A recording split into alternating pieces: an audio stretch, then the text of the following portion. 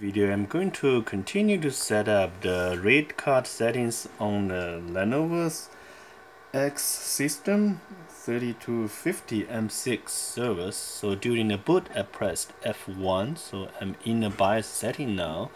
And now I can go continue to use the system settings okay?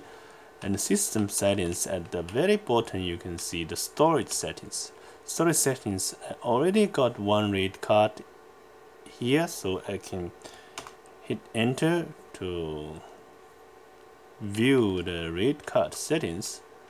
Okay. So drivers I can see here I have two drivers.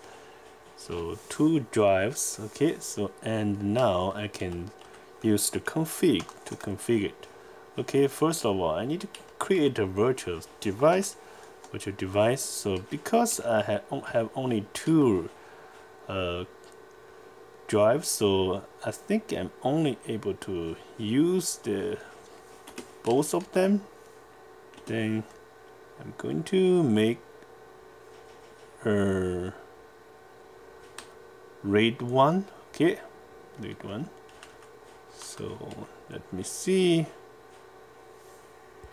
okay I already choose the both disks and I'm going to hit OK. So confirm. Yes. Select the RAID level so apparently I would like the some kind of uh, redundancy. So I need use the RAID 1 is the middle RAID and uh, if you choose the three drives possible you have the actual options like RAID 5 and four drives you might have the RAID 1 0 but at this moment I only have RAID 1 okay so most likely I can leave most of the stuff default okay? And uh,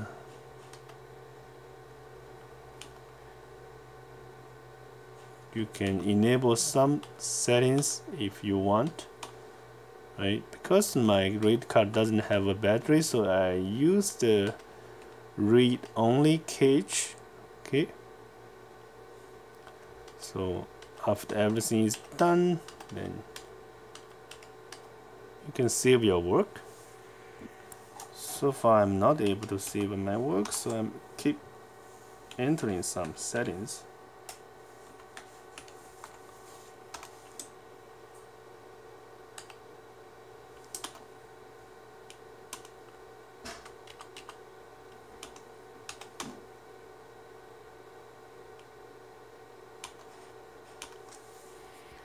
okay here it asks me to choose the hard drive again. Okay. So apply change. Okay